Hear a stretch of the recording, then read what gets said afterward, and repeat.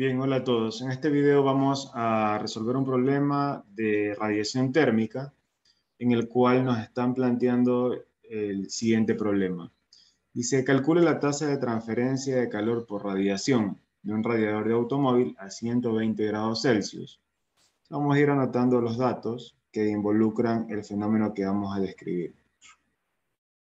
Nos piden la tasa de transferencia de calor, eso lo representamos con la letra Q minúscula la tasa de transferencia de calor es la incógnita, de un radiador de automóvil. El radiador de automóvil por lo general puede ser representada por un rectángulo que está emitiendo, no sabemos cuánto está emitiendo por radiación, pero nos dicen que la temperatura del radiador es de 120 grados Celsius. 120 grados Celsius, a esto lo podemos llamar T1, en un garaje cuyas paredes están a 60 grados Celsius. T2 va a ser 60 grados Celsius, considerando de que las paredes están justamente en toda la envolvente del radiador, pero aquí voy a graficar únicamente este vértice, T2. Entonces la radiación térmica está saliendo del radiador y se dirige hacia las superficies. Nos indican también que el radiador tiene una emisividad de 0.68. Recuerden que la emisividad es una propiedad del objeto que depende de la superficie, de la rugosidad, del color o de las propiedades mecánicas o microscópicas que tenga el material. Dependiendo de eso va a tener una emisividad diferente. Y nos indican también que el área o superficie del radiador es de 1.30 metros cuadrados. Como es un problema de radiación térmica, lo primero que deberían considerar en este tipo de problemas es que cuando ustedes aplican la ley de Stefan Boltzmann, tienen que llevar la temperatura a, a Kelvin. Entonces, si están en Celsius, deberían sumarle 273 a cada uno de estos valores para llegar a la temperatura en Kelvin. En este caso, T1 sería 393 Kelvin, la temperatura que está emitiendo, y T2 vendría a ser 333 Kelvin, que sería la temperatura de la superficie que está recibiendo la radiación. A partir de estas ecuaciones que tenemos ahí, lo único que vamos a seguir haciendo es calculando cuál es la tasa de transferencia de calor. De acuerdo a la ley de enfriamiento de, de ley de Stefan Boltzmann, la transferencia de calor por radiación siempre la vamos a poder calcular como el producto de la emisividad por el área que está emitiendo, por la constante de Boltzmann y por la diferencia de las temperaturas, pero cuando las temperaturas están elevadas a la cuarta. Una vez que nosotros tenemos definido esto, simplemente procedemos a reemplazar cada uno de los valores que están establecidos ahí y con eso podríamos calcular cuánto es Q. La emisividad de 0.68, el área planteada en este problema es 1.30, la constante de Boltzmann por definición es 5.67 por 10 a la menos 8, y obviamente las temperaturas ya las tenemos, sería simplemente reemplazar los valores de T1 y T2 a la cuarta.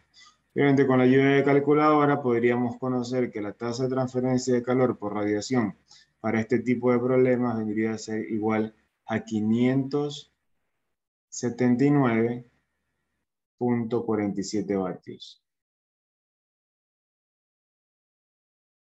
Esta vendría a ser la tasa de transferencia de calor por radiación desde el radiador hacia eh, la superficie que, a la cual se encuentra el, automóvil en este caso.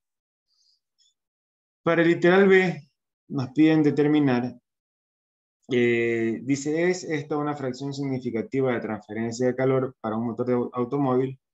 Bueno, para responder esto nos piden suponer una potencia del motor de 150 caballos de fuerza y la eficiencia del motor del automóvil de un 25%. Veamos, la potencia que nos están indicando es de 150 caballos de fuerza. Sin embargo, esa no es la potencia real. La potencia real va a ser en función de la eficiencia del motor. La eficiencia del motor es del 25%. Entonces, esto sería 0.25 por esa potencia P que tenemos ahí. Es decir, 0.25 por 150 caballos de fuerza.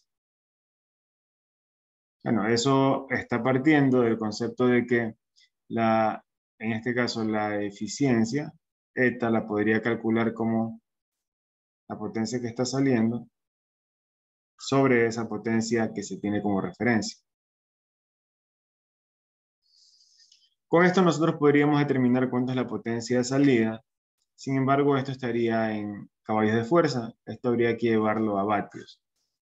Aplicando factores de conversión sabemos que un caballo de fuerza no es nada más que 736 vatios. Si se dan cuenta, eh, caballo de fuerza se puede simplificar y quedaría que la potencia de salida o la potencia que se va a tomar como referencia es aproximadamente 27.600 vatios. Entonces, con esto podríamos nosotros identificar si en realidad esta transferencia de calor por radiación representa una fracción significativa de la transferencia de calor en función del motor del automóvil. Para eso lo único que hacemos es calcular una proporción. ¿Cómo calculamos esa proporción? Simplemente dividiendo la cantidad de calor radiativo, que es el que hemos calculado, dividido para la potencia de salida. Entonces, cantidad de calor radiativo es 579.47 y eso tenemos que dividirlo para 27.600. Esto nos da un aproximado de 2.09%.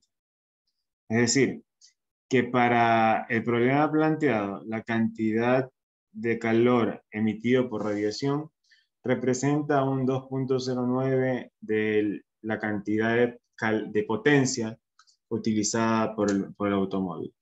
Es un valor relativamente bajo. Claro que mucho va a depender del área del radiador y también de la configuración que tenga el radiador.